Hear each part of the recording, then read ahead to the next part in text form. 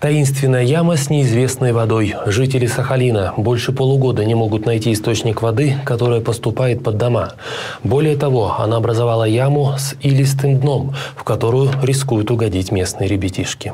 Вот полгода, как снег начал таять, вот так она и бежит. Эта вся вода бежала ко мне домой. Вонь, антисанитария полная.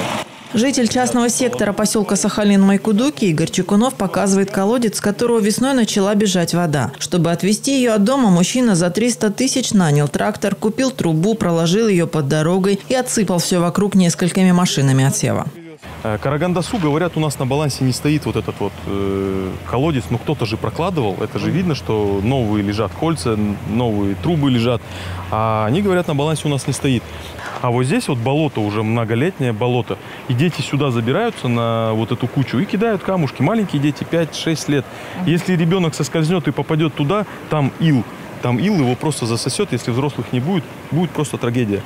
Возле дома, говорит Игорь, он сможет положить плиты, чтобы в яму не попадали ни дети, ни машины, но всю округу он обезопасить не в состоянии. Откуда течет вода, он не знает. Не знают и подрядчики, которые прокладывают новые водопровод и канализацию в поселке по госзаказу. Отвлекаемся, там водопроводные сети. Есть какая-то была Да, какая-то была там. Они есть не действующие, есть действующие, действующие не трогаем. Ну, она как-то непонятно идет уже. Они, они мы, перес, мы пересекаем ее, они действующие. Они вот с, с края поселка идет, да. Они на карте где-то указаны, где-то не указаны. В Акимате подтвердили, что ранее часть поселка была охвачена водопроводными и канализационными сетями, но не про все есть информация и у властей. Есть сети, которые люди сами построили, которые нету ни в одной топосъемке, ни в одной э, действующей актуальной базе данных.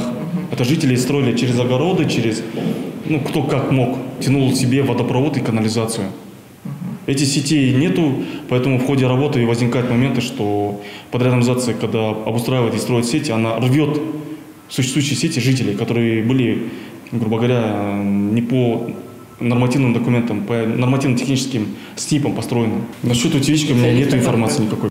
Игорь Чекунов не единственный, который борется с непонятными утечками. Жители надеются, что власти все-таки озаботятся их бедой и разберутся. Людмила Батюшкина, Ирина Нинашева, Пятый канал.